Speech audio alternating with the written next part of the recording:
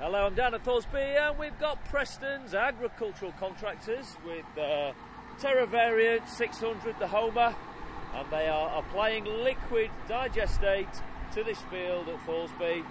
And uh, that will be used for silage and hopefully after that drilled with maize. Now this has two tanks on. I can't remember the cube, but I do know it's got a 36 metre dribble bar. The ends are tucked in at the moment, and they lift them up just as they're moving round back to be filled up by the tanker.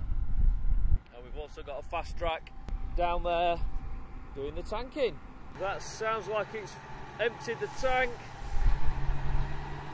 In comes the arm, and he will carry on with the GPS exactly on the location that he finished. Thank you for watching as always. See you on the next video.